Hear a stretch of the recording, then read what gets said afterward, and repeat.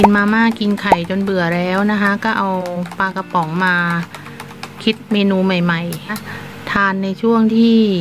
ภาวะที่เราต้องอยู่บ้านกักตัวไปไหนไม่ได้นะคะ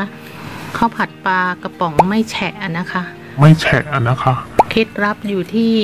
การเอาน้ำซอสของปลากระป๋องนะคะ ไปผัดให้แห้งนะสวัสดีค่ะครัวคุณเจนนะคะ วันนี้เราจะมาทำเมนูอาหารง่าย ๆกันนะคะ ในช่วงที่เก็บตัวอยู่บ้านนะคะ เนื่องจากว่าข้าวนะคะ ที่เราหุงไว้วันนี้เหลือเยอะมากเลยนะคะเป็นข้าวเย็นนะคะ เราก็เลยคิดเมนูง่าย ๆทำทานกันคือเมนูข้าวผัดปลากระป๋องนะคะ วัตถุดิบหลักๆก็มีข้าวนะคะ ปลากระป๋องนะคะ ผักนะคะที่เราจะใช้วันนี้ก็คือมีหอมบักชีนะคะ พริกขี้หนูแล้วก็แตงกวานะคะ มีไข่ด้วยนะคะ ที่จะใช้ในการทำข้าวผัดในวันนี้นะคะ เครื่องปรุงนะคะก็จะมีง่ายๆหลักๆเลยนะคะ น้ำปลาน้ำตาลแล้วก็ซีอิ๊วขาวนะคะ แล้วก็มีน้ำมันหอยด้วยนะคะปลากระป๋องนะคะที่เราใช้ในวันนี้เนี่ยเราจะ แยกเนื้อกับน้ำปลากระป๋องก่อนนะคะ แล้วซอสในปลากระป๋องเนี่ยนะคะ ไปเคี่ยวให้แห้งนะคะ เดี๋ยวเรามาแยกก่อนนะคะ เราตักเอาแต่เนื้อปลากระป๋องออกออกแยกไว้นะคะ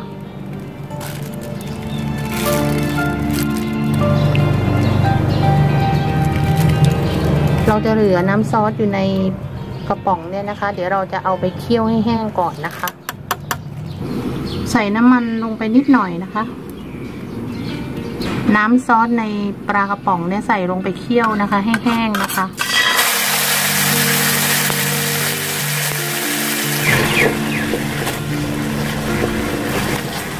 ใช้ไฟอ่อนๆนะคะ เคี่ยวน้ำซอสไปเรื่อยนะคะ จนกว่าน้ำซอสจะแห้งนะคะ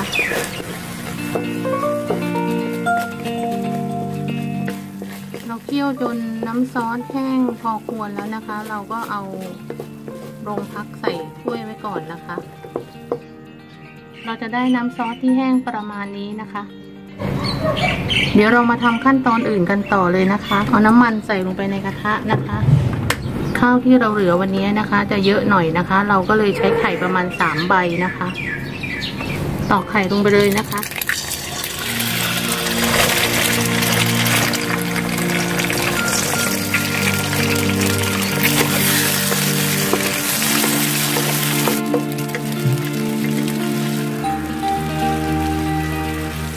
ปลากระป๋องที่เราแยกไว้เมื่อกี้นะคะ เราก็ตัดออกเป็นชิ้นใหญ่ ๆ นะคะ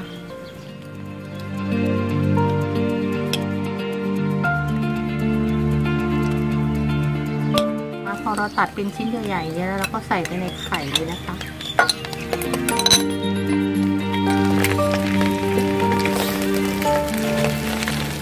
ค่อยๆผัดนิดนึงนะคะ ให้ปลากระป๋องโดนความร้อนนะคะ แต่ว่าอย่าผัดแรงนะคะ ไม่งั้นปลากระป๋องจะเละเดี๋ยวเรามาเตรียมแตงกวาก่อนนะคะ ไว้สำหรับกินแก้มกับข้าวผัดปลากระป๋องนะคะ แล้วเราก็จะใช้พริกขี้หนูนะคะ หั่นพริกขี้หนูเป็นท่อนๆนิดนึง ต้นหอมนะคะ หั่นเป็นท่อนๆ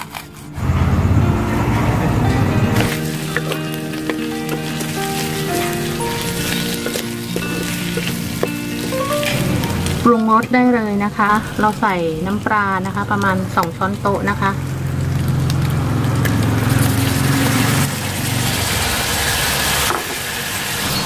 ซีอิ๊วขาวหนึ่งช้อนโต๊ะนะคะ น้ำมันหอยนะคะสองช้อนโต๊ะ น้ำตาลทรายนะคะ ครึ่งช้อนชา ลุกเคล้าให้ทั่วนะคะ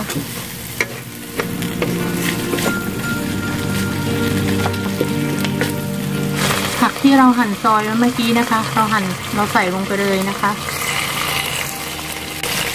พริกนะคะ ต้นหอม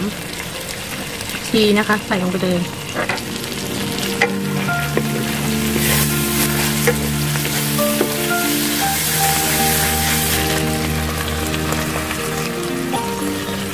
จากนั้นเราเอาข้าวเนี่ยค่ะใส่ลงไปคลุกนะคะ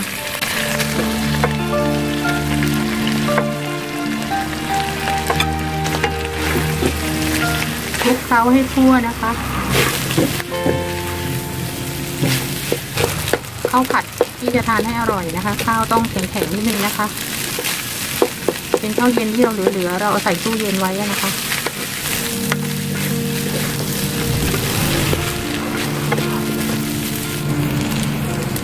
สุดท้ายเลยนะคะ น้ำซอสนะคะที่เราผัดจนแห้งนะคะ เอาใส่ลงไป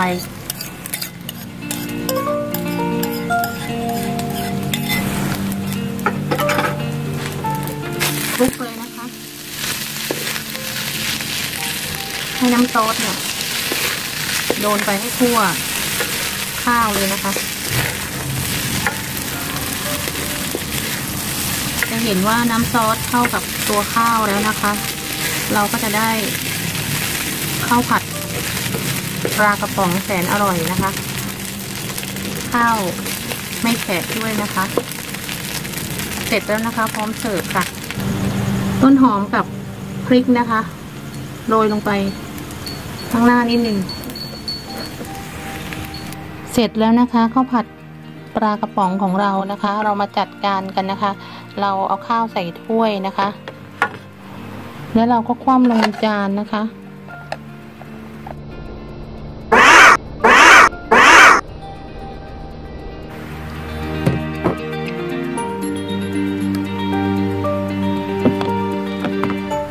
เราก็เอาแตงกวามาแต่งนะคะ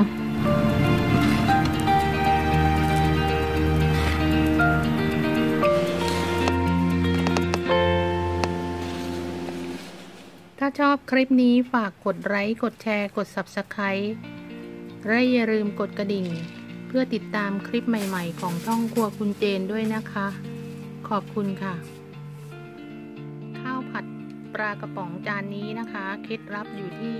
การเอาน้ำซอสของปลากระป๋องนะคะ ไปผัดให้แห้งนะคะ แยกเนื้อกับน้ำนะคะ แล้วก็ปลากระป๋องก็แยกไว้นะคะ หั่นเป็นชิ้นโตๆหน่อยนะคะ เพื่อไม่ให้เละนะคะ ที่สำคัญก็คือข้าวที่เรานำมาผัดนะคะ เป็นข้าวเย็นที่เราใส่ตู้เย็นไว้ก็ดีนะคะ อย่าทิ้งนะคะ เสียดายเอามาผัดเป็นข้าวผัดปลากระป๋องนะคะ ทานในช่วงที่ภาวะที่เราต้องอยู่บ้านกักตัวไปไหนไม่ได้นะคะมีอาหารอยู่ในตู้เย็น กินมาม่ากินไข่จนเบื่อแล้วนะคะ ก็เอาปลากระป๋องมา